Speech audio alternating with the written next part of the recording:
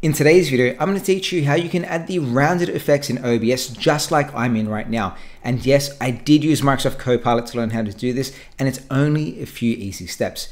The first thing we're going to do is scroll over to this website called Registrix.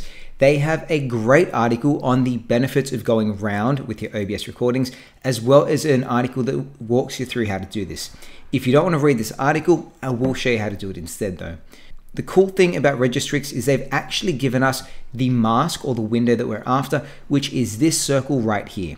What you want to do is right click on that circle and then save it down to your computer. Make sure you save it somewhere where you're not going to delete it. So it could be a folder, could be your downloads. In this example, I'm just going to save it onto my desktop and simply select on save. And now we're going to jump into OBS. In OBS, you'll see your sources. I've got two here. One is my video capture, which is my camera, and then the other is my display.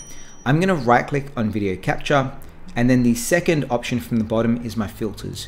I'm gonna open up my filters here and then under the effects filters on the left hand side, we're gonna press on the plus button and you're gonna have all these uh, options pop up. We're gonna go to the middle where it says image mask slash blend. So open this up, give it a name. You can change it if you want, but I'm gonna keep it as it is. I'm gonna go okay. And then this box here is gonna open up. The only thing you have to do is select on the option that says path we're going to choose browse and we're going to go over to that circle that we just downloaded and simply select on open.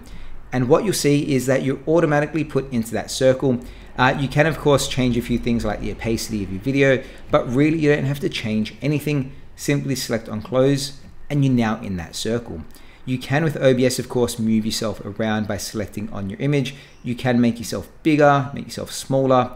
And there you go. It is that easy to round your image in OBS if you like this video, let me know by giving it a thumbs up. And of course, if you're going to supercharge your computer, hit that subscribe button as well. Thanks for watching and see you next time. Bye. In the wild, where the trees sway, there's a fox